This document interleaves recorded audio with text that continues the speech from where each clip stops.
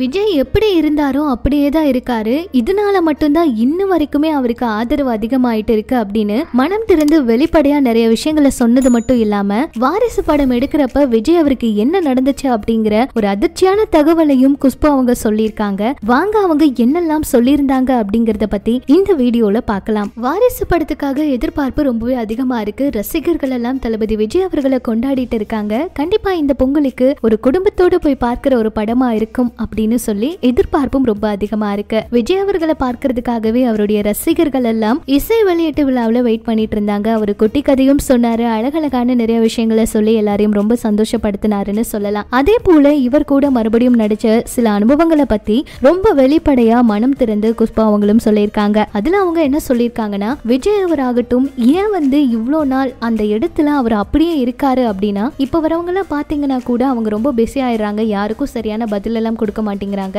ஆனா ஆரம்பத்துல இருந்து இப்போ வரைக்குமே எப்பவுமே நான் பார்த்துட்டு இருக்கேன் விஜய் ஒரே மாதிரியே தான் இருக்காரு. நான் மின்சார கண்ணால பார்த்துருப்பேன்ல அதே மாதிரி தான் இப்போ வரைக்கும் அவர் நடந்துக்கிறாரு. அதுக்கப்புறம் வில்லுல அவர் கூட ஒரு பாட்டு பண்ணியிருப்பேன். அப்பவும் அதே மாதிரி தான் இருந்தாரு. இப்போ வாரிசுலையும் அதே மாதிரி தான் இருக்காரு. அவர்கிட்ட எந்த ஒரு மாற்றமும் இல்ல. சாதாரணமா எப்படி இருப்போமோ அதே மாதிரி தான் இருக்காரு. அதே போல வேலைன்னு வந்துட்டா அவர் அதுல மட்டும்தான் கவனமா இருப்பாரு. இந்த போன் பாக்குறது மத்தவங்களை பத்தி பேசுறது அது ஏன் இப்படி இருக்கு இது ஏன் இப்படி இருக்கு இந்த மாதிரி தொண்ணு தொண்ணு எந்த ஒரு விஷயங்களையும் அவர் வந்து கவனமே வச்சுக்க மாட்டாரு. ஆனா அவரோட வேலைகள்ல ரொம்பவே விரும்பி பண்ணுவாரு. அவ்வளோ அவருக்கு பிடிக்கும் அப்படிங்கிற மாதிரி மனம் திறந்து பல விஷயங்களை சொன்னது மட்டும் இல்லாம அவருக்கு நூத்தி மூணு டிகிரி பக்கம் வந்துட்டு காய்ச்சல் இருந்துச்சு. அந்த சமயத்திலையும் வந்து அவர் குளிர் தாங்க முடியாம கொஞ்ச நேரம் வந்துட்டு போய் தூங்குவாரு. அப்புறம் வாங்க இப்ப வந்து படப்பிடிப்பு ஆரம்பிக்குது அப்படின்னு சொன்னா உடனே வந்து நடிச்சு கொடுத்துட்டு மறுபடியும் போய் தூங்குவாரு. அந்த மாதிரி ஒரு மனுஷன் அப்படி வந்துட்டு நிறைய விஷயங்கள் பண்றாரு. அப்படியெல்லாம் இருக்கிறதுனால தான் அவர் இப்போ வரைக்குமே இந்த இடத்துல இருக்காரு. உண்மையா சொல்ல போனா அவருக்கெல்லாம் நிறையவே வந்து வந்துட்டு பாராட்டு கொடுத்தே ஆகணும். அந்த அளவுக்கு அவருடைய வேலையில கவனம் செலுத்துறாரு அப்படின்னு மனம் திறந்து பல விஷயங்களை ரொம்ப வெளிப்படையா அவங்க ரொம்ப அழகாவும் சொல்லியிருக்காங்க. ஏற்கனவே எல்லாரையும் ரொம்பவே ஆச்சரியப்பட வைப்பாரு. இந்த மாதிரி விஷயங்கள் எல்லாம் இவர் பண்ணதை பார்த்து எல்லாருமே ரொம்ப ஆச்சரியப்பட்டிருக்காங்க.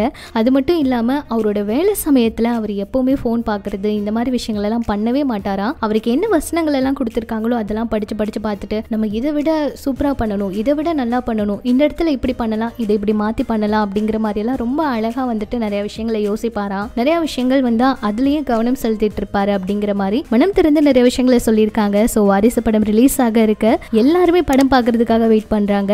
நீங்க இதை பத்தி என்ன நினைக்கிறீங்க அப்படிங்கிற உங்களுடைய கருத்துக்களை ஷேர் பண்ணுங்க.